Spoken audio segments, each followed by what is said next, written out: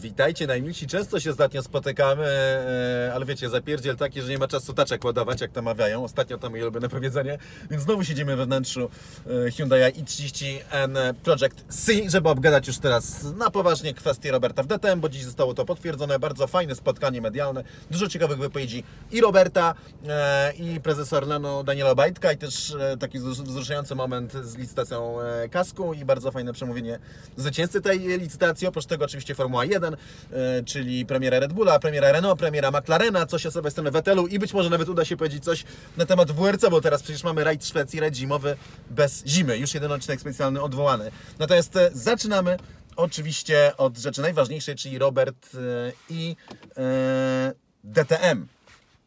W końcu dziś potwierdzone, zresztą tuż przed, przed konferencją e, oficjalną zaplanowaną na 10 już się pokazały wiadomości, które przeciekły oczywiście od strony BMW, trochę przed szereg, no ale cóż. E, I tak wszyscy widzieliśmy tak, e, co jest grane i tak było to dość oczywiste. Jako pierwszy przemówił prezes Obajtek i chciałem przytoczyć kilka jego słów z tego początku, potem przejdziemy od razu do Roberta. Orlen dotrzymuje słowa, powiedział prezes. Orlen zaangażował się bardzo mocno w sporty motoryzacyjne. Rok 2019 i Formuła 1. Potem nasze deklaracje, że będziemy dalej w F1. Dotrzymaliśmy słowa jesteśmy sponsorem tytularnym Alfa, Alfa Romeo Racing Orlen, czyli zdecydowanie wyżej. To zdecydowanie wyżej, bardzo fajnie, no bo faktycznie wyżej od Williamsa, mam nadzieję, że także w tym roku.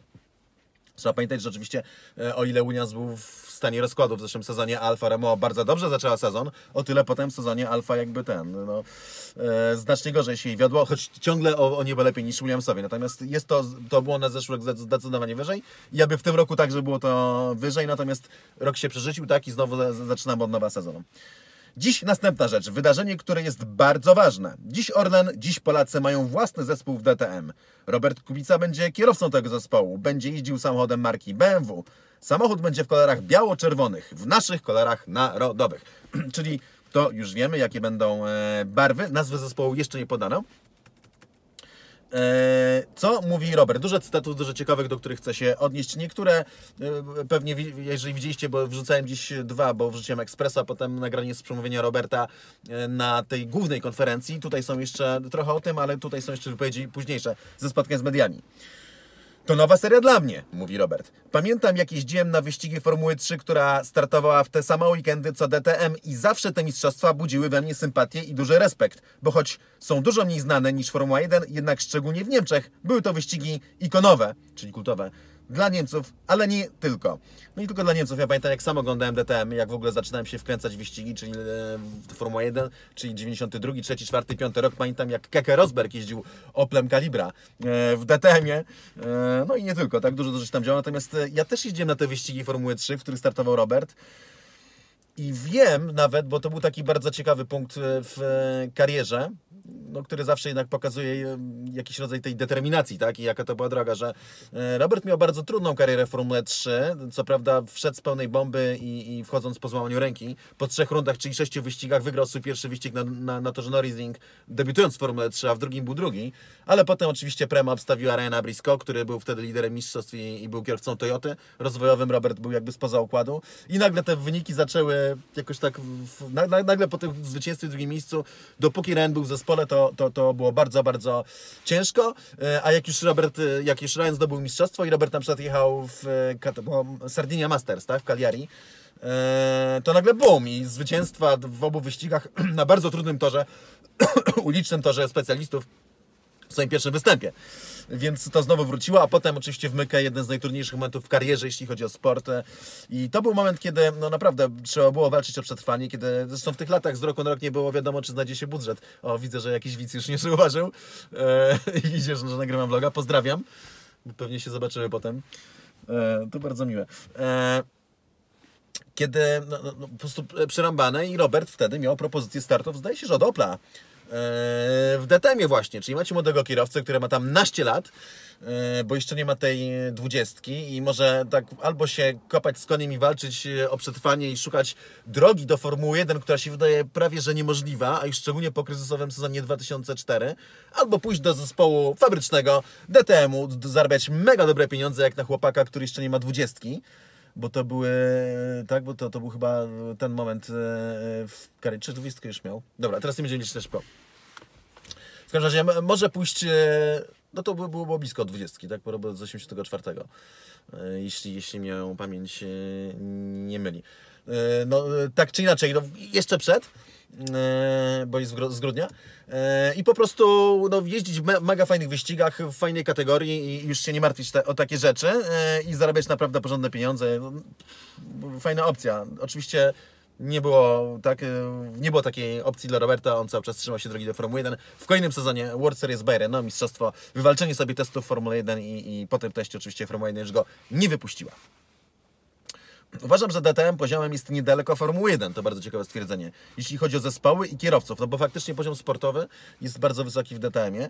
I co więcej, samochody oczywiście inne z dachem i tak dalej, ale jak na te różnice między autem z dachem a, a bolidem jednomiejscowym, wcale nie są tak daleko od siebie. Naprawdę nie jest to łatwe zada- zadanie. Czasowo nie będzie to łatwe do połączenia. Tym bardziej, że to praca dla dwóch różnych zespołów i marek, czyli to, co Robert ma. Alfa Romeo w Formule 1 i zespół e, w DTM-ie. O wyzwaniach sportowych, Robert. DTM się poszerzył. Nawet jeśli e, liczba aut nie imponuje, jakość i poziom kierowców, którzy startują, naprawdę są bardzo wysokie.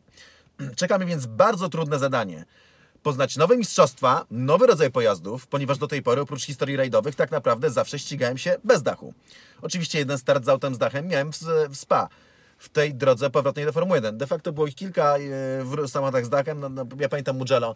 E, oczywiście ten pierwszy, pierwszy w ogóle start wyścigu to był, e, to był SLS GT. E, Ale to też zupełnie, bo to, to SLS po prostu dostosowane do wyścigów Auto GT to nie to samo co prototyp, taki jak DTM, natomiast z prototypów, czyli to co na SPA w Renówce, e, to potem też Renówką Robert jechał na Walelundze. E, No i jeszcze było, było kilka, no ale generalnie no to był taki najbardziej znaczący, powiedzmy, że naj, najwyższy poziom zawodów, jakich Robert jechał, jeśli chodzi o te kwestie aut z dachem. Ale teraz jest to naprawdę poważne wyzwanie dla mnie. Myślę, że czeka mnie trudne zadanie, ale też z drugiej strony bardzo się cieszę, ponieważ lubię wyzwania. I dalej o wyzwaniach związanych z łączeniem tych dwóch programów, bo to jest przecież hardcore. Pokazywałem Wam mój e, ro- rozkład jazd i to, jak się ile się to, to nakłada weekend po weekendzie, po prostu cały czas jeden wielki kocioklik. Na przykład mówi, że, no to, że będzie ciężko, a potem mówi, nie będzie to trudne, bo pa, zaraz potem, bo pasja, którą mam i wyzwanie, które jest przede mną, jeśli cho- chodzi o DTM, są naprawdę spore. A ja jestem człowiekiem o charakterze, który lubi wyzwania. Im trudniejsze, tym lepiej. Choć naprawdę zdaję sobie sprawę, że nie będzie to łatwe. I ktoś, kto myśli, że przyjdę do DTM i będę łatwo wygrywał, może się sporo mylić. Może, ale nie musi. Znaczy, moim zdaniem, to jest niemożliwe e, głównie dlatego, że Robert nie będzie kierowcą fabrycznym, ale to jest moja prywatna opinia. E, Natomiast cały, znaczy inaczej, e, miejsce na podium, a nawet zwycięstwa czy zwycięstwo są możliwe. Natomiast walka o mistrzostwo, moim zdaniem, tak czy inaczej będzie no, bardzo ciężka, ze względu na to, że no jednak będzie tam sześć innych samochodów tej samej marki, które będą z fabryki wystawione. Poziom jest bardzo wysoki i to sprawia, że będę musiał poświęcić naprawdę dużo czasu. Do tego mam obowiązki z Alfa Romeo Racing Orlen, które też są niemałe, więc mogę powiedzieć, że w domu będę przebywał mało, a miesiącami nawet w ogóle. Weekendy wyścigowe y, są zaplanowane. To 10 weekendów DTM plus 18 wyścigów F1. Y, znaczy, wydaje mi się, że będzie 16, dlatego że Grand Prix Chin przełożona się nie odbędzie na 99% i na 95% nie odbędzie się także y, Grand Prix Wietnamu, o czym y, opowiem później. Dodatkowo też są testy, dni symulatorów w Alfa Romeo Racing Orlen. Też, żeby przygotować się do DTM, plus dni marketingowe, dni na spotkania z Wami. Tego jest sporo, z Wami, czyli z dziennikarzami i z kibicami też. Dom mi będzie obcy. Fajny, e, fajny tekst na tytuł. Dom mi będzie obcy. Zresztą taki będzie tytuł, tytuł w przeglądzie sportowym e, do wypowiedzi Roberta e, jutro. Lub dziś, jeśli oglądacie to w, e, piątek, tak będzie czwartek. E, ale dom mi będzie obcy, ale pasja i możliwość ścigania się na najwyższym poziomie mnie nakręcają. No i to było pytanie, że 5 sesji treningowych to jest, to jest niepotwierdzone ciągle, co Robert podkreśli e, w F1. Czy jest szansa na występ wyścigu? Nie wiem, czy, dokładnie, czy dokładny numer to 5. Oficjalnie nigdzie to nie było podane. I gdzie wystąpię, też nie było podane. A w wyścigu na dzień dzisiejszy będę się ścigał w DTM, więc będę, więc będę występował w wyścigu. Takie, wiecie, uci- ucięte w stylu Roberta, ale... E, Znowu pytanie, bo to jest ze wspólnych wywiadów. 15 marca F1, 16 marca DTM, czyli e, Grand Prix Australii, a potem 16 ruszają testy. Gdzie Cię zobaczymy? 16 marca mamy pierwsze testy, zobaczycie mnie tu i tu. A jak to zrobię, to zostawię dla siebie. Oczywiście w trzy weekendy yy, pokrywają się DTM i Formuła 1. Priorytet jest oczywiście wyścigowy, ale gdyby coś się działo w Alfa Romeo Racing Orlen. Oczywiście ten priorytet może się zmienić. Czyli Robert mówi nie mniej więcej tutaj, że jeśli trzeba będzie zamienić jakiegoś kierowcę z jakiegokolwiek przyczyny podczas jednego z tych weekendów, to może się okazać, że Robert zamiast być na torze DTM w pokrywającym się terminie będzie na torze Formuły 1. Ten priorytet może się zmienić. Nie chcę tutaj nikomu źle życzyć i trzymać kciuków za takie rzeczy, a z drugiej strony bardzo chciałbym zobaczyć Roberta znowu w wyścigu Formuły 1, a najlepiej w wielu wyścigach. W zespole, który będzie to doceniał i w samochodach, które będą to doceniał. Natomiast no, jeśli chodzi o Australię, Robert potwierdza, że będzie w Melbourne, tak, jest kierowcą rezerwowym i tak dalej, pierwszy weekend, natomiast no, najdalej w sobotę wieczorkiem trzeba wsiąść do samolotu i yy, z powrotem do Europy, no bo w niedzielę trzeba być na miejscu, bo w poniedziałek zaczynają się testy DTM-u, więc to będzie, to, to, to się może rozegrać znaczy tak albo nie, albo w piątek wyleci, no w każdym razie najdalej w sobotę wieczorem trzeba wsiąść do samolotu i ten, i wrócić do, do Europy. To jest e, z Melbourne do Europy, znaczy inaczej, z Melbourne do, bo to najlepsze połączenie tak naprawdę, do Dubaju leci się koło to różnie bywa, bo tam czasem 13,5 godziny, 12, 14 zależy od prądów powietrznych, planów lotu i tak dalej. To jest mniej więcej ten, no, no, krócej niż 12 godzin raczej nie wyjdzie. No i potem stamtąd do Europy, yy, do Polski sieci 5, leci około 5 godzin, więc przypuszczam, że do Włoch dość podobnie. A może nawet i więcej, bo to Włochy są niżej. No w każdym razie to znowu około 5 godzin, więc no to taki skok na około 17-18 godzin lotu plus e, przesiadka. No ale przypuszczam, że w biznes więc przynajmniej tyle, że będzie można odespać, ale cały czas po takim skoku to będzie duże zmęczenie, no ale będą też 3 dni testów na DTM, więc one będą bardzo ważne te testy, naprawdę mega ważne, bo to krótkie 3 dni na przygotowanie. No i podziękowanie Robert. Mm, chciałem podziękować kibicom za doping, za ubiegły rok, ale też zaprosić nie tylko na tory Formuły 1, ale i na tory serii DTM aby trzymali kciuki za to biało-czerwone BMW M4 DTM, którym będę się ścigał. Mam nadzieję, że będziemy wracać z wyścigów w lepszych humorach niż w 2019 roku. My też. I teraz była bardzo fajna rzecz, bo, bo, bo była taka aukcja kasku Roberta tak na rzecz chorej dziewczynki.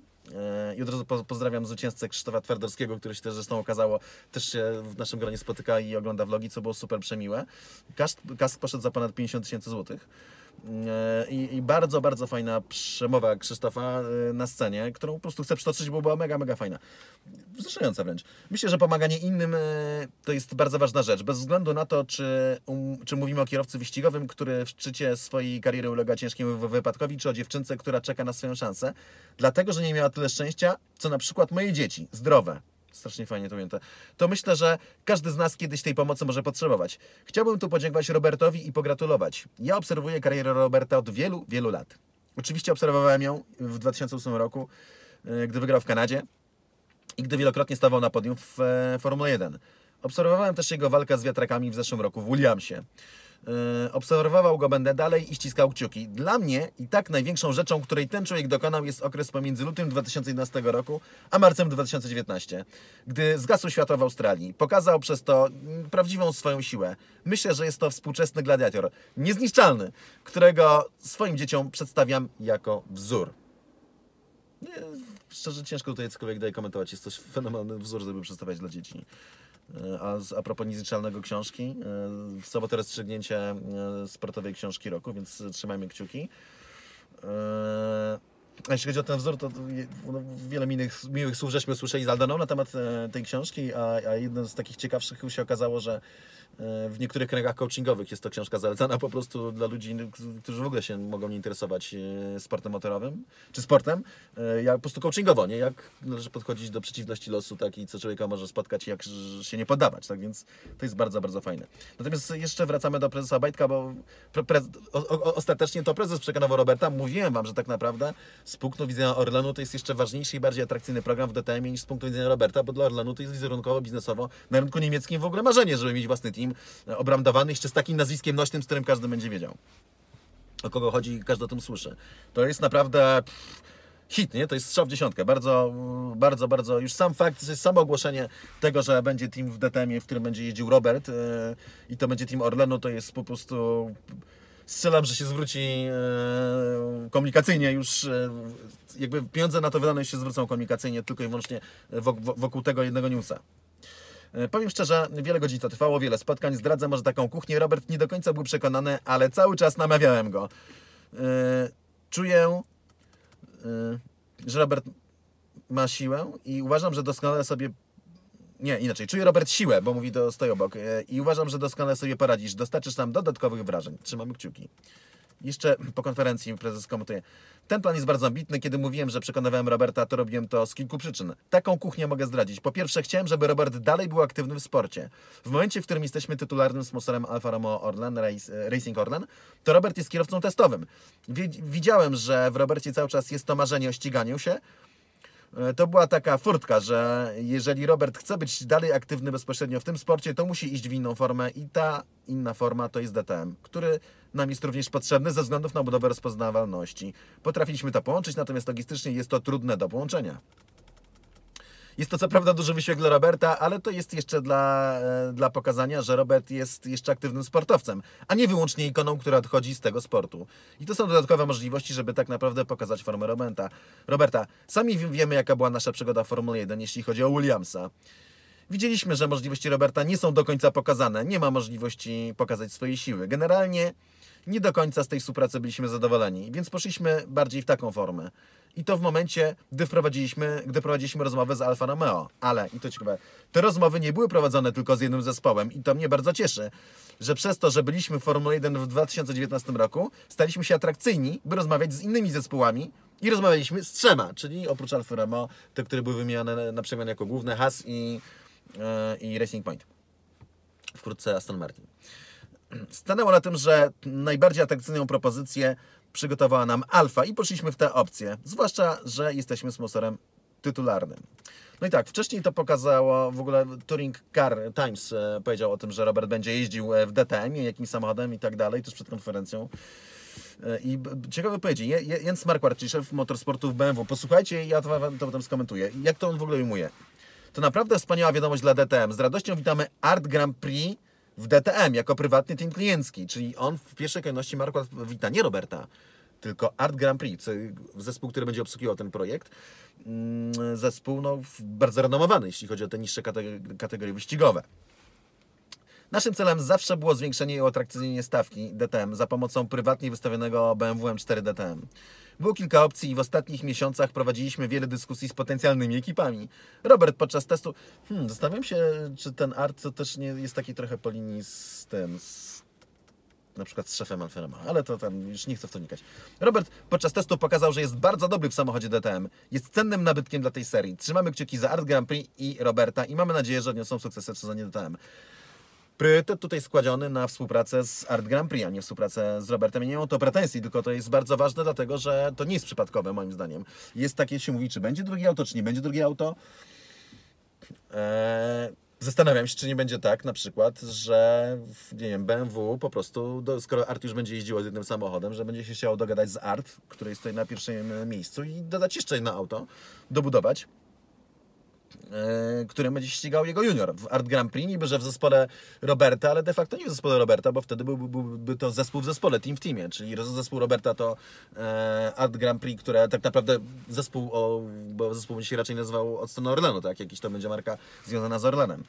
E, no w najbliższym czasie, bo za dwa lata wszystko ma być, znaczy w ciągu dwóch lat ma się zrobić rebranding, o czym zaraz będę mówił, natomiast póki co jeszcze Star czy Benzina e, funkcjonuje.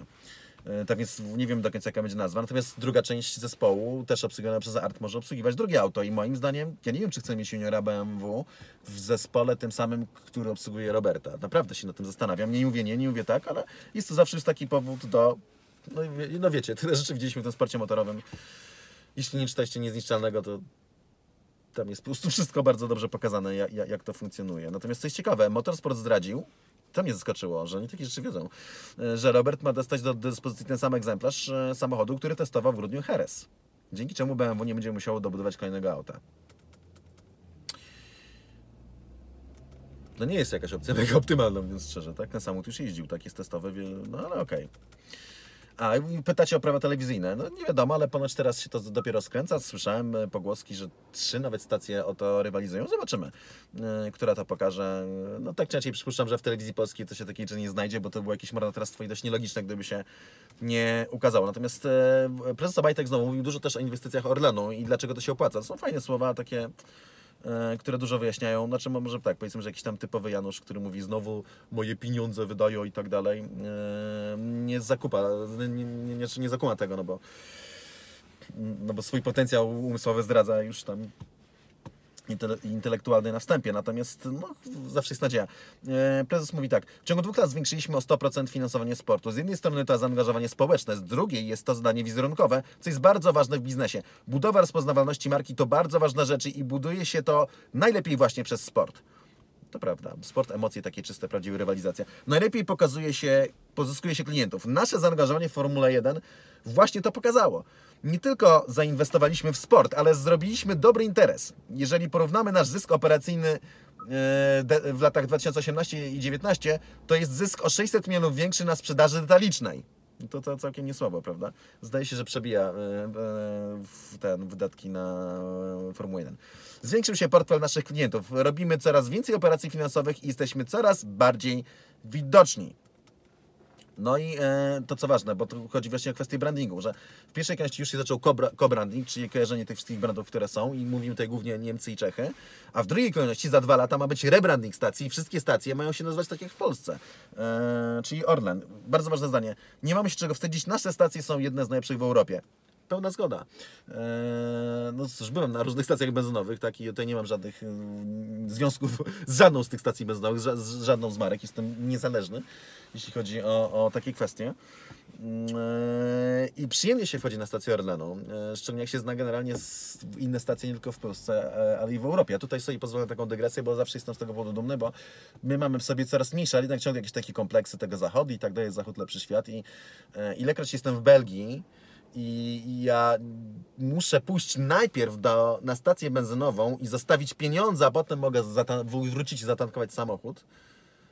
I tak jest nie tylko w Belgii, tej wiecie, w wielkim świecie Beneluxu cywilizowanym, bardzo tak ustawionym, już, już bardzo bogate społeczeństwo i rozwinięte. I tak jest w wielu innych krajach, to szczerze mówiąc czuję się wtedy dumny, że w moim kraju, który jest niby taki dziki, wschodni i tak dalej, e, mogę sobie wyjść z samochodu, zatankować auto i dopiero potem pójść zapłacić na stacji benzynowej. Bo to pokazuje, że jednak być może nie jesteśmy aż takimi dzikusami. E, że być może jest nas więcej cywilizacji. Druga rzecz, tutaj są sporne, to jest takie, że, e, że na stacji benzynowej mogę o każdej porze dnia i nocy kupić sporo rzeczy, których na zachodzie nie kupicie. To jest oczywiście dyskusja, dyskusja na temat alkoholu i są różne zdania, tak? Czy to on powinien być też tak ogólnodostępny, czy jednak powinny być te restrykcje. Ja akurat uważam bardziej, że, że, że jestem jakby wolnościowcem, tak? I uważam, że jednak człowiek jest sam odpowiedzialny za swoje decyzje i że e, drogą nie jest, prawda, zabranianie i karanie, tak, i lanie po rękach, tylko drogą jest edukacja. Czyli uczenie dzieci, już ludzi od dzieci, świadomości tego, co jedzą, co spożywają, co jak działa, a potem, kurde, jak to chce się narąbać, e, no to, no cóż, to jest jego życie, jego pieniądze, jego sprawa, tak, ma do tego pełne prawo, byle potem nie wsiadał za kierownicę samochodu, tylko pojechał autobusem. Ale okej, koniec tej dygresji. E, mówiłem Wam o tym od dawna, że DTM to jest bardzo dobry ruch w świetle planów biznesowych Orlenu. Co mówi prezes? Były kiedyś takie czasy, że najpierw robiono rebranding, a potem myślano o kampanii. My tego nie możemy zrobić. Musimy najpierw moc, bardzo mocno zainwestować w sport, w rozpoznawalność i to nie tylko w Polsce, ale chcąc założyć stację w Niemczech e, i dokonać rebrandingu to musimy być tam bardzo mocno rozpoznawalni jako Orlen. A DTM jest bardzo modny, jeśli chodzi o wyścigi w Niemczech. One mają tam jedną z największych rozpoznawalności. W momencie, kiedy Robert będzie się ścigał, w momencie, gdy będzie ten samochód e, obrandowany Orlenem, starem, zdecydowanie poprawi się nasza rozpoznawalność na tamtym rynku, co też ułatwi nam prowadzenie biznesu. I tutaj wydaje mi się jest dobre podsumowanie tego projektu. Uważam, że bardzo dobrze wymyślony, przepraszam, rozegrany projekt. Współczuję Robertowi. Że z jednej strony super, nie? No bo będzie się ścigał i będzie też przy Formule 1, gdzie być może się narodzi e, jakaś tam e, opcja powrotu, z drugiej jednak będzie miał przerąbane. I pewnie ja po części też z nim, aczkolwiek y, no na pewno nie tak, nie? Na, na pewno nie tak. Przypuszczam, że no zobaczę jak to mi się ułoży, bo jeszcze muszę złożyć budżet i tak dalej, nie będzie to łatwe, ale, ale mówicie, chcecie, żebym jeździł, więc to jest też takie fajne, mnie to dopinguje. Przypuszczanie, no będę musiał się w końcu, staram się tego uniknąć, ale nie jest łatwo, bę- będę się musiał odnieść do tego, co mi oferujecie tak wiele osób, za, za co Wam dziękuję, czyli, czyli do Patronite'a, ale z Waszą pomocą, tak no, sądzę, że 10 wyścigów DTM się zrobi. E, a z Formuły 1, no to, no to się zobaczy, nie? To trzeba albo zrobić 8, albo 14 minimum. Co sobie średnio wyobrażam, ale, ale cóż, żyjmy dniem dzisiejszym i nie martwmy się tym, co będzie. Tym bardziej, że prawdopodobnie dwa wyścigi Formuły 1 tak czy inaczej odpadną. Na Chiny bym i tak bym nie jechał, Wietnamu strasznie szkoda. Formuła 1, rajdy Formuły pierwszej. Bo to rajdy, tak? To Formuła pierwsza. e, premierę. Red Bull bardzo ważna, tak kluczowa, dlatego że no, no najpierw barwy pokazał Mercedes, nie nowego samochodu, ale barwy musieli jako pierwsi. Zaraz następnego dnia Ferrari nowe auto, oczywiście to, co mogli pokazać, e, wiadomo, że wszystko, co się dało, było jakimś tam rodzajem atrapy, ale Red Bull to jest pierwszy zespół, który jeździł nowym samochodem. E, No i to, to, to, wszyscy, nie? Ciaśniejszy tył, wydajność aerodynamiczna większa, e, niższa masa, tak, prawda, znaczy inaczej obniżona na tyle na wiesie. Natomiast kluczowa będzie robota Hondy, nie tylko dlatego, że chodzi o moc, żeby ona była jak najbliżej tego, co oferuje Ferrari, najmocniejsze teraz, nie tylko jeśli chodzi o wytrzymałość, która już w zeszłym roku była całkiem spoko, mm, ale też jeśli chodzi o to, jak to wszystko jest upakowane pod pokrywą silnika, żeby to było i mocniejsze, i bardziej wytrzymałe, i mniejsze. Bo tu, jeżeli mamy stałą formułę e, techniczną, tak, prawie nic się nie zmienia, no to ostatecznie idziemy w tym samym kierunku. To, to co powiedziałem wcześniej, plus generalnie główna rzecz, no to jest, żeby auto było jak najmniejsze, bo im mniejsze auto, tym mniejsze opory stawia, tak, powietrze. Po drodze mniejsze po- opory spotyka, więc no to, to jest as simple as that, jak to mówią za granicą. E, wydajność aerodynamiczna. E, Dla Red Bulla tylko jeden cel komunikowany. Od dawna Mistrzostwo Świata, Mistrzostwo dla Maxa, bo to jest, e, no, zdaje się, ostatni moment, kiedy Max może zostać najmłodszym mistrzem świata. Ma 22 lata. Najmłodszy Sep ma, miał 23 lata i ileś tam, 300 i- ileś dni. Na pewno nie 400, nie? Bo, bo tylu dni w roku nie będzie. E, Nie pamiętam, ale to są tam setki tych dni, tak więc to może być ostatnia szansa, żeby zostać mistrzem świata najmłodszym. E, No i oczywiście wielka zmiana filozofii całego Red Bulla. Na- Naprawdę Red Bull postawił wszystko, zmienił wiele rzeczy, żeby ten sezon był jak najlepszy, bo zależy im na tym, żeby zachować Hondę wraz z nią z Maxa, bo Max może odejść, jeśli Honda odejdzie. Zależy im na tym, żeby być najmłodszym mistrzem świata. Naprawdę zrobili wszystko. Zmienili filozofię tak, żeby Red Bull już był go- gotowy do testów teraz. Przez, wcześniej przez lata i to była ich przewaga. Red Bull zrobił taki system, że wprowadzał auto dość późno, że jeszcze te pierwsze testy olewał i było wtedy więcej testów. W pewnym sensie jeździł samochodem e, takim mułem czy, czy, czy hybrydą, w sensie nie silnikowo hybry, hy- z silnikiem hybrydowym, tylko hybrydą w sensie połączeniem e, z poprzedniego samochodu z nowymi koncepcjami i potem czasami nawet było, że jak najpóźniej wprowadzał najnowsze auto, e, no bo mieli taki e, cykl pracy i wtedy się opłacało, że jak najpóźniej wprowadzali mega dobre auto i po prostu rozwalili system. Teraz odwrotnie, czyli jak najwcześniej mieć gotowe auto i pracować nad tym samochodem. Max zrobił jego shakedown na Silverstone. Pogoda dopisała, było co prawda wilgotno, ale też było słońce. E, To interesujące poczynowe auto. To oczywiście nie tam nie było dużo jazdy, raz a dwa no nie mógł jechać za szybko, to po pierwsze przyjazdy, ale jak macie już shakedown zrobiony, to jedziecie do Barcelony i część rzeczy macie, za- tak, podstawowe rzeczy, sprawdzone systemy, to naprawdę dużo, dużo pomaga. I jeszcze jest czas, żeby coś poprawić, tak? Jak coś tam nie pykło, to jeszcze mają trochę czasu inżynierowie, żeby w Barcelonie wejść i wejść na pełnej bombie. E, nowy samochód z nowym silnikiem e, i szczęśliwie wszystko poszło bardzo gładko. Czyli te pierwsze przyjazdy były, były dobre, to jest zawsze dobry, dobry znak, cel do, do osiągnięcia.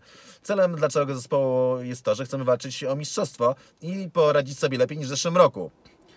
E, I być tak, wa- walczyć, tak być w czołówce od pierwszego weekendu wyścigowego. No i oczywiście w kolejnych. E, I w tym punkcie trzeba zacząć i, a, i myślę, że jesteśmy na dobrej drodze do tego. Okej, Renault, czyli yy, no taki Renault, który tak naprawdę nic nie pokazało, tylko zaprezentował swoich kierowców i szefa i tam jakieś kawałki samochodu. Yy, no to dla Renault to jest pewnie, dla nich kluczowy będzie sezon 2021, zmiana przepisów technicznych, ale przede wszystkim budget cap, który będzie, może im bardzo pomóc, o ile Renault zostanie w Formule 1, bo jeszcze w zasadzie nikt się chyba nie zdeklarował. Yy, Cyril mówi tak, Abiteboul, szef ekipy, Celem jest e, od- odzyskanie czwartej pozycji w mistrzostwach konstruktorów. Yy, A i że to będzie taki bardziej gorący, zacięty sezon e, niż kiedykolwiek. E, W nadchodzącym roku musimy e, respektować trzy priorytety, e, które ustaliliśmy w przerwie zimowej. E, Niezawodność od pierwszego startu, upewnić się, że w bardzo wczesnej fazie sezonu będziemy mieli wysoki poziom rozwoju technicznego. To jest faktycznie bardzo, bardzo ważne. Szczególnie w pierwszej fazie, bo potem trzeba się przyczynić na sezon 2021. Eee, I e, mieć dobre przełożenie e, tego na to, co się dzieje na torze, tak? Czyli nie tak, że robimy wielkie postępy w tunelu aerodynamicznym e, i w symulacjach, a potem przyjeżdżam na tor i, i tego nie widać, tylko po prostu, żeby to działało.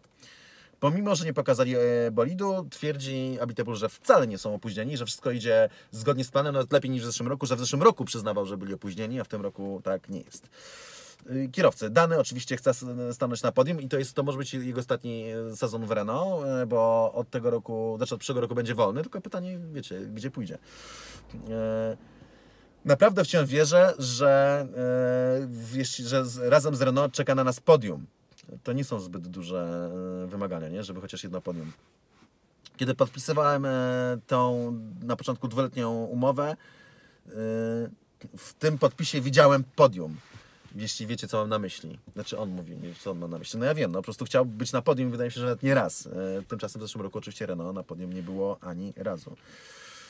Dziękować Bogu za, za to, co się działo w Brazylii, bo dzięki temu przynajmniej był na podium samochód z silnikiem Renault, który był McLaren, Sańca w Brazylii. Hmm? E, Tak, to był dla mnie personalny cel. E, Coś, co sądzę jest do uzyskania. A jeśli chodzi o zespół, e, z pewnością chodzi o to, żeby się poprawić i walczyć z chłopakami z przodu. Taki jest nasz cel. Ale przede wszystkim, jak wziąć rewanż na zespołach środka stawki i zająć to czwarte miejsce. No i oczywiście Okon, który mówił, że po zeszłym sezonie był totalnie zrypany, jak koń po westernie, że dużo latania, dużo, dużo pracy. No ale w tym roku nastrój bojowy i ten, no, okon dla okona. Zastanawiam się, jaki będzie układ sił, dlatego że jeżeli Ricardo odchodzi, choć ciągle nie wiem gdzie, okon jest kierowcą francuskim i ten sezon dla Renault, no zobaczymy, no, czy będzie taki przetrwalnikowy, czy czekają na 2021. No wiele będzie zależało od tego, jak będzie już na początku sezonu. No ciekawym jestem, jak sobie poradzi, ale jeżeli spo- spojrzycie na to, e, Ocon przez dwa sezony dostawał od Pereza, co prawda z większym doświadczeniem i świetnego kierowcy, no ale jednak kierowcy, który nie jest takim topem topów topów. Więc e, tym bardziej powinien dostać od Daniego, no bo tak bardzo jak szanuję i, i, i uważam, że jest bardzo dobrym kierowcą mm, e, Perez, no to raczej od Daniego lepszy nie jest. McLaren.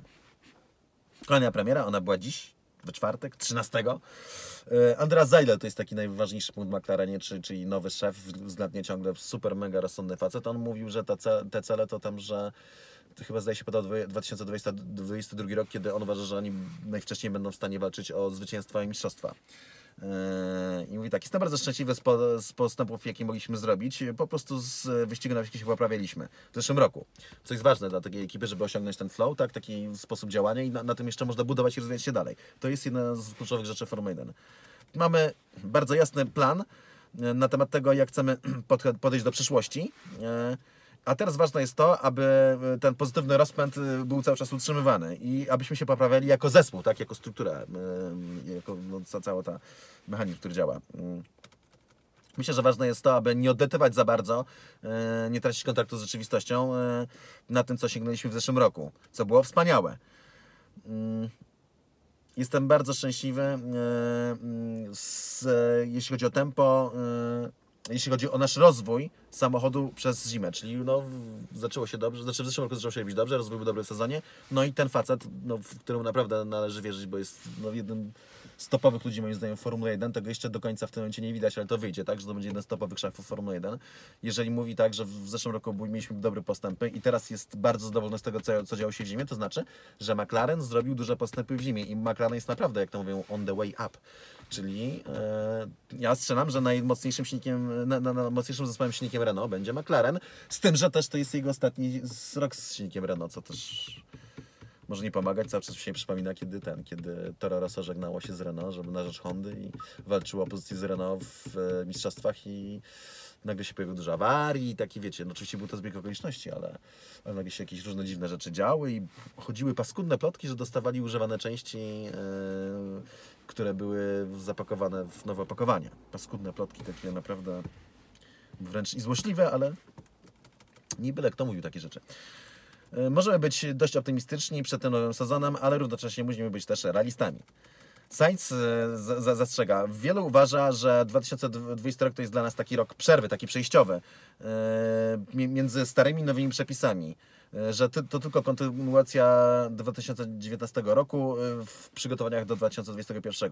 W McLarenie jednak e, my naciskaliśmy, nacisnęliśmy przycisk reset po tym, jak zobaczyliśmy flagę w czachownicę w Abu Zabi i pracowaliśmy ekstremalnie ciężko, starając się poprawić każdy jeden detal tego samochodu. Wierzę mu na słowo i to jest jedyna droga. Trzymam za to kciuki. Norris.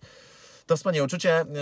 Myślę, wracając do tego samego momentu w zeszłym roku, nie mogę użyć tego słowa, które chciałem powiedzieć, ale byłem no, powiedział z...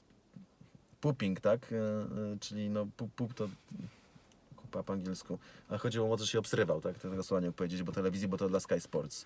Szczególnie w tym momencie, tak? Czyli na początku, przed rozpoczęciem sezonu. Teraz czuję się o wiele pewniej, jestem o wiele bardziej zrelaksowany i to lepiej mnie szykuje do tego sezonu. No i mówił o tym, że też auto będzie bardziej pod niego. Ten samochód nawet żartował, że on go zaprojektował, co oczywiście było, no, kierowcy nie projektują samochodów. Ten samochód był e, oparty na zeszłorocznym e, i wszystko przez co przeszliśmy w zeszłym e, roku, wszystkie komentarze i dyskusje między nami, kierowcami, zostało włożone w to auto. I to auto jest jakby w, o, oparte o to. To jest o wiele bardziej mój samochód. Dziadki, nie cudzysłów. Tu też w cudzysłowie. E, mieliśmy wkład w to, w, w powstawanie tego auta, więc e, to jakby sprawia, to ten samochód sprawia jakby o wiele większe wrażenie, jakby to było moje dziecko. I nie mogę się doczekać, aż zacznę nim jeździć. No cóż, trzymamy kciuki i za McLarena, i za Norrisa, i za Carlosa Sainza. Skład bardzo ciekawy, z jednej strony bardzo zdolny młody kierowca, też z budżetem. Z drugiej strony kierowca bardzo doświadczony, też mocny, szybki e, i z nazwiskiem. E, znaczy moim zdaniem to nie jest skład aż tak super listy, jak to wiele osób mówi i łącznie z McLarenem, ale skład wciąż bardzo mocny. Młody kierowca bardzo z wielkim potencjałem kierowca bardzo doświadczony z potencjałem na to, żeby nawet w odpowiednim aucie i z odpowiednim kolegą z ekipy być mistrzem świata, bo Sainz taki potencjał ma. E, Natomiast cały czas nie jest e, Maxem Verstappenem, co ostatnio mówił Helmut Marko, wam to też przytaczałem i co do tego też nie mam e, wątpliwości. Dobra. Grand Prix Chin i Grand Prix Wietna, Wietnamu. Co mówi o odwołaniu Grand Prix Chin, e, czy o przełożeniu e, Grand Prix Chin Robert? Myślę, że zdrowie jest najważniejsze i należy, le, nie należy lekceważyć sytuacji, która jest w Chinach. Myślę, że to słuszna i jedyna decyzja. Mam nadzieję, że sytuacja bardzo szybko się no, polepszy, a przynajmniej nie będzie się pogarszać. To wirus, którego nie należy lekceważyć. Chase Carey mówił te, w kontekście tego, bo na razie Grand Prix Chin jest przełożone. o, o tym oszukaniu terminu na Grand Prix Chin, które szczerze mówiąc bardzo ciężko znaleźć. E, No bo mówiło się tam, że, że, końcówka, że po Grand Prix e, Abu Zabi, czy Abu Zabi się nie zgodzi, żeby, bo Abu Zabi płaci ekstra kasę, żeby być ostatnim wyścigiem. Przed Abu Zabi to była Brazylia, tydzień po Brazylii Grand Prix Chin, a potem Abu Zabi. Tylko, że wtedy w Chinach po Abu Zabi to będzie średnia, to jest chyba 8 stopni, e, a przed to chyba około 10, więc to są absolutnie nie są temperatury na Formułę 1 i nie jest pogoda. Wcześniej co najwyżej może być, może, mogą skrócić przerwę wakacyjną. I to jest ewentualnie jakieś takie największe ryzyko, że, że tak się stanie, że zostanie ten wyścig dodany na przykład e, tydzień wcześniej będzie krótsza przerwa wakacyjna, ale zespoły się na to nie zgodzą. Teraz to wygląda tak, że teraz Liberty i FIA mówią, dobra, to my to przesuwamy i zostawiają to, wiecie, to odpychają i to zespoły zablokują to, moim zdaniem, e, nie, nie będą chciały, bo dla nich 22 wyścigi to jest za dużo, a już przekładanie to w ogóle e, tragedia, a zamienianie z innymi. I teraz Chase Carey, tak, czyli cały czas prezes całej Formuły 1, w wypowiedzi na temat tego, co się stanie, tak, czyli szukania terminu nowego dla Grand Prix Chin, mówi challenging w e, trzech akapitach trzy razy. Challenging, challenge, challenging. E, No i mówi, że co, prawda cenimy naszych chińskich partnerów, są e, dobrymi partnerami. Mieliśmy dobry wzrost w Chinach, więc z pewnością chcieli, chcieliśmy to utrzymać. Chociaż mówiło się, że, chyba Wolf powiedział, że były pełne trybuny w Chinach, co jest nieprawdą, bo w zeszłym roku było 70 tysięcy ludzi w dniu wyścigu, a zdaje się 160 tysięcy przez weekend, a trybuny w Chinach mieszczą 200 tysięcy ludzi. Co i cały czas jest e, jakby 270 tysięcy na dzień wyścigu. Jak na Chiny to jest całkiem niegłupi e, wynik. No i znowu, dużo wyzwań, e, baba, baba, baba. To jest, moim zdaniem to jest niemalże taka deklaracja, że sorry, ale ten, nie, nie, nie ma bata. Nie ma bata. E, że te Chiny po prostu zostaną, a co więcej, moi mili, przecież tak e, przed Grand Prix Chin? Czy po? Przed Grand Prix Chin, bo po Bahrajnie jest, e, w rozkładzie jest Wietnam, a Wietnam graniczy z Chinami. I ponoć e, nawet 40 km od Hanoi jest już jakaś strefa kwarantanny. I że sytuacja w, w Wietnamie mm, jest o wiele gorsza niż donoszą media, jeśli chodzi o zdrowie. I dziennikarze ogarniający temat już teraz pracują nad przekładaniem biletów i tak dalej, odwoływaniem hoteli, bo już się szykują na to, tacy wiecie, starzy wyjadacze, tacy, którzy e, robią od wielu, wielu, wielu lat e, pełne sezony albo puszczają jeden, dwa wyścigi w roku. E, to oni już mówią, że sorry, ale, ale, ale ten wyścig się nie odbędzie. Tak więc e, prawdopodobnie e, w tym sezonie będą nie 22 wyścigi, a na 99% 21, e, a na 95% e, jak oceniłem na początku 20 wyścigów. Czyli Wietnam i Chiny, niestety wielka szkoda, szczególnie tego Wietnamu. Chociaż Chiny ja też bardzo lubię akurat.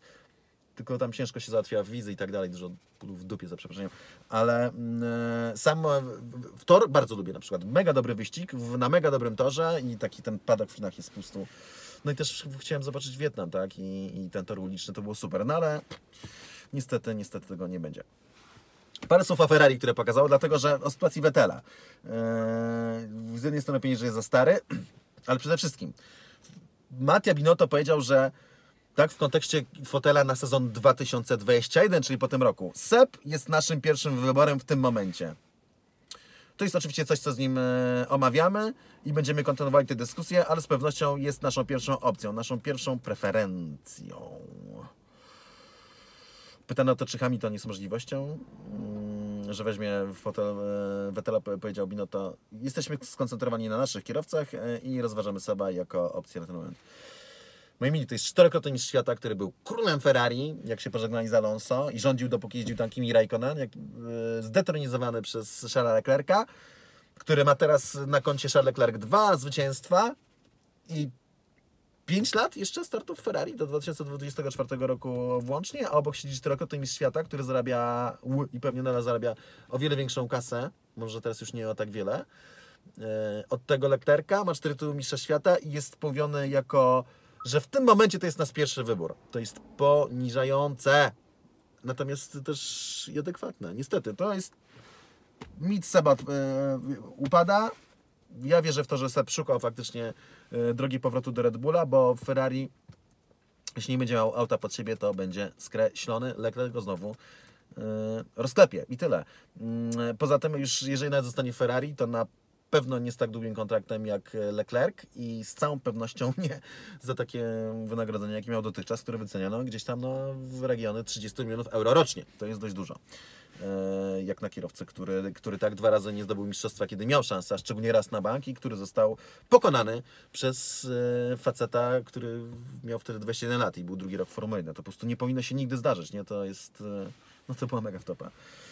Mm, A, i no i mówię czy- oczywiście, że nie będzie priorytetów. Rok temu o tej samej porze Ferrari mówiło, że Vettel będzie miał jakby preferencje, tak, że będzie preferowanym kierowcą. Ja od razu mówiłem, że to błąd. Mm, e, Teraz ma tak nie być. Mm, Są na tym samym poziomie. e, Obaj mogą walczyć, aby być e, z przodu, więc e, pozwólmy, aby się e, ścigali. Let them race. Bardzo mi się podoba ten stat. Pytanie, jak to się odbije na Ferrari. Natomiast Gerhard Berger, tak, czyli kierowca, który startował kiedyś Ferrari i przyjaciel był senny, na Motorsport Total powiedział, że, że Sebastian ma już za sobą swoje najlepsze lata.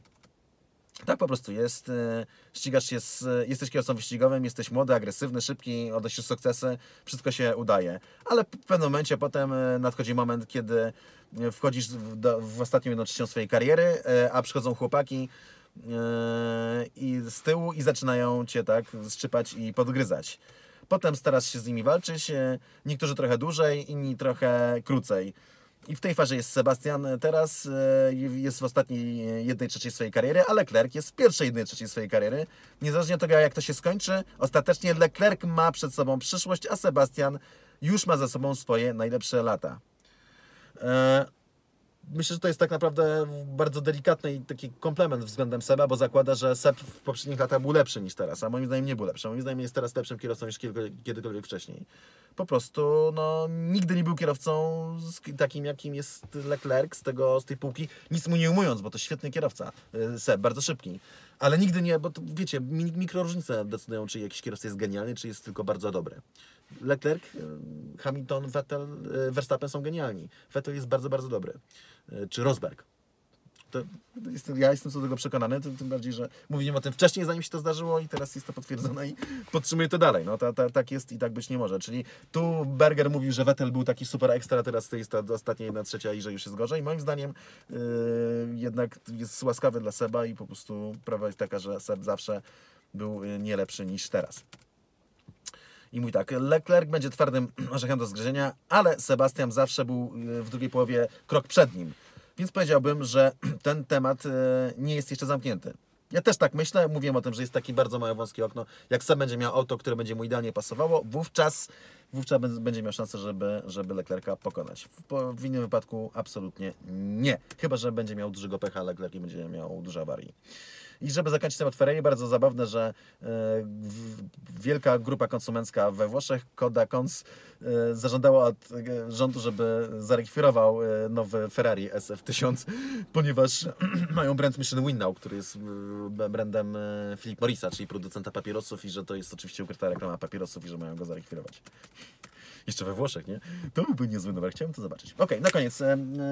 No WRC w opałach i tutaj dopiero możemy mówić o, wiecie, global warming, e, globalne ocieplenie, dlatego, że mamy ze sobą shakedown Szwecji i e, już dziś miał się odbyć Torsby, tak, czy, czy, czyli taki no, klasyczny super ES rajdu Szwecji, który został odwołany, mimo tego, że rajd został drastycznie skrócony już przed tym startem, tak bardzo jak się dało, żeby było jakby full, full, full punktów, to było ile? 171 km, czy jakoś tak, czyli w zasadzie krócej niż runda RC, ale żeby chociaż pojechać i shakedown się odbywał na szutrze.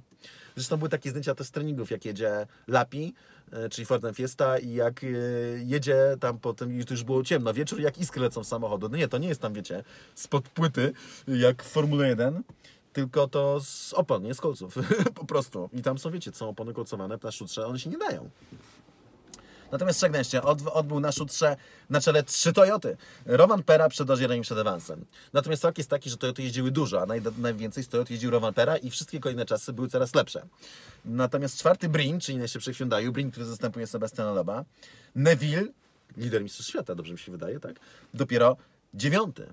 E, Ale tym bym się nie przejmował, bo i Brin i Neville jeździli mało, wiele mniej niż kierowcy Toyoty, więc y, z jednej strony widzimy jednak, że ten Yaris w tych warunkach to słaby raczej nie będzie. Z drugiej strony niech żywi nie tracą nadziei, dlatego że to będzie wyjątkowy rajd i no, miejmy nadzieję, że nie będą, nie będzie dalej skracane, że ten śnieg jakoś tam wynajdą, nie wiem, może armatki śnieżne. No tak czy inaczej, to już się bardzo zmieniło. Ja żałuję, ja byłem na rajdzie Szwecji dwa razy w życiu i ani razu to nie był taki rajd, o którym mi opowiadali mo- moi koledzy, którzy jeździli na rajdy wcześniej. Że taki prawdziwy zimowy, że mrozy, zaspy po i pas, albo wyżej, albo po klatkę piersiową. Eee, no to już ten, eee, to Synewrati ponoć. Ma być jeszcze gorzej, no i, no i niestety, tak to wygląda. Eee, Przed rajdem faworytów ja Wam nie podam, nie znam, naprawdę. To jest tak wy, wyjątkowy weekend, w tak wyjątkowych warunkach i to jest nowy sezon, że po prostu nie sposób tego zgadnąć, ale z całą pewnością Yaris wolny nie jest. Z drugiej strony pamiętajmy, że no, Monte Carlo to asfalt, zupełnie inny typ rajdu, zupełnie inne setupy, tak, za- zawieszenie i tak dalej, więc to trzeba wziąć pod uwagę, ale no co tu dużo mówić, Thierry w Hyundaiu sobie nie był, tak? To, było, to, nie, to nie było szczęście, że on wygrał ten rajd, on po prostu to zwycięstwo wywalczył, tak? Więc Hyundai też ma duży potencjał. Dobra. Tyle jeśli chodzi o nasz e, e, F1 vlog. E, Obiecuję, że jak nic wielkiego się nie wydarzy, to się zamknę na parę dni, żebyście mieli czas to wszystko przetrawić. Ale jednakowoż za parę dni się odezwę, bo w przyszłym tygodniu się leci już na Tien, na Tiesty w Barcelonie. Dziękuję Wam serdecznie i do zobaczenia wkrótce.